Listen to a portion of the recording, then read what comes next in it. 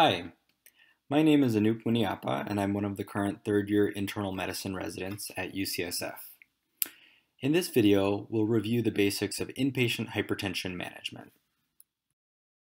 The content of this talk is for medical education purposes only.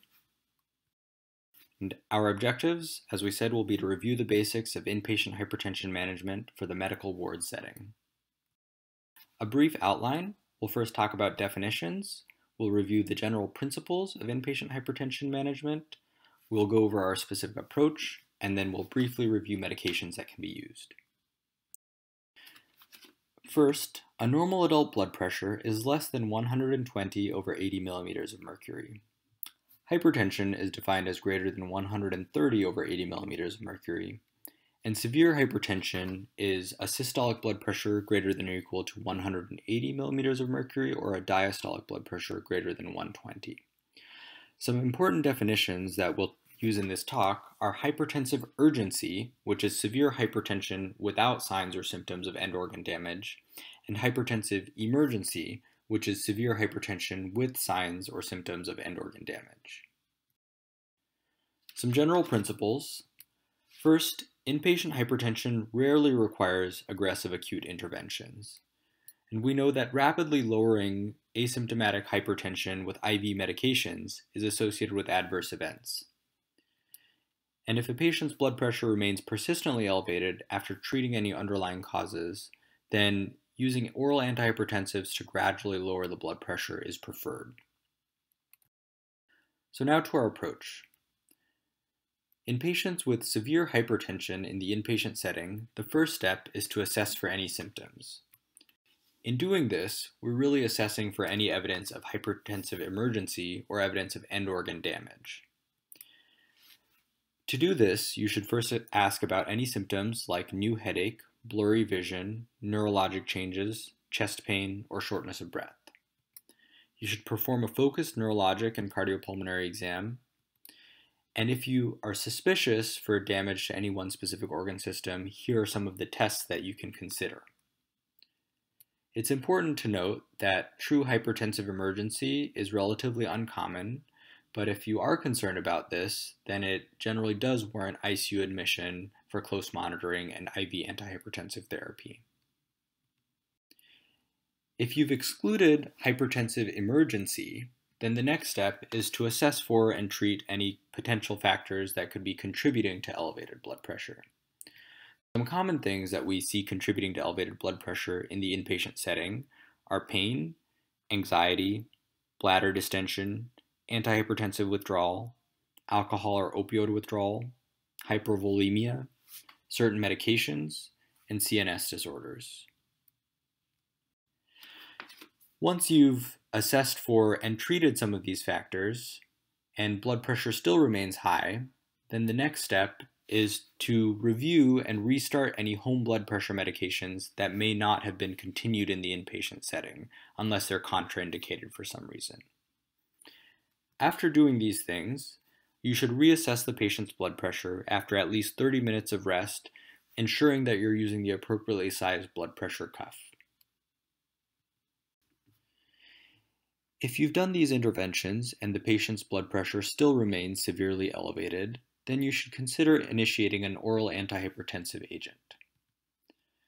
In terms of timing, the blood pressure should really be reduced over the period of hours to days, and typically this should be on the order of days.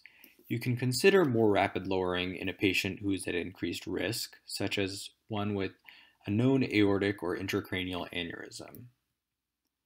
In terms of blood pressure target, you should lower the blood pressure by no more than 25 to 30% in the first several hours, and a reasonable short-term target is less than 160 over 100 millimeters of mercury. But the long-term target really depends on the patient's individual risk. In terms of medication choice, long-acting oral antihypertensives are preferred some commonly used agents are ACE inhibitors, ARBs, calcium channel blockers, and thiazides. There are some short-acting agents listed here in case more rapid lowering is indicated, but none of these are ideal choices for long-term use. Next, let's talk about the management of elevated blood pressure in the inpatient setting that is not severe or is not quite as high as 180 over 120. In general, you can use a similar approach as before, where you can evaluate the patient for any symptoms, treat any underlying causes, and restart their home antihypertensives unless there are any contraindications. It's important to note that these patients are at relatively low risk for any acute complications from elevated blood pressure, and the benefit that they're likely to derive from antihypertensive, antihypertensive therapy are really long term. And we know that overly aggressive uptitration of antihypertensives in the inpatient setting can result in adverse outcomes. So a practical approach is if a patient's blood pressure is persistently elevated, greater than 20 millimeters of mercury or so above their goal, and really we're talking on the course of several hours throughout the day or even a few days, then you can consider initiating or uptitrating oral antihypertensives for this patient. Now, here is a brief review of the medication lisinopril, which is a long-acting oral antihypertensive. If you'd like to review this slide, please pause the video now. Similarly, I've included a review of amlodipine, another long-acting oral antihypertensive. If you'd like to review, please pause the video here. And finally, here's a chart just reviewing the principles of severe hypertension management that we've discussed. The first step is to assess if the patient is symptomatic or has any evidence of end organ damage. If so, they should be treated as possible hypertensive emergency. If not, the next step is to assess and treat any potential contributing factors to elevated blood pressure. If blood pressure remains elevated, you should consider if there are any home blood pressure medications that have been held and restart those unless there's any contraindication. And then blood pressure should be rechecked after 30 minutes, ensuring that the patient has been resting and an appropriately sized cuff is used. If the blood pressure is improved, there's usually no acute treatment that's indicated.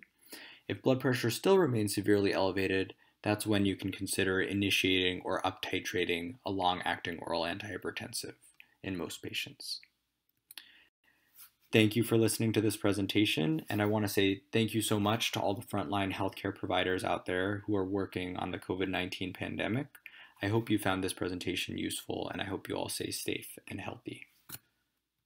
Finally, here are some references if you'd like to read about this a little bit more. Thank you so much.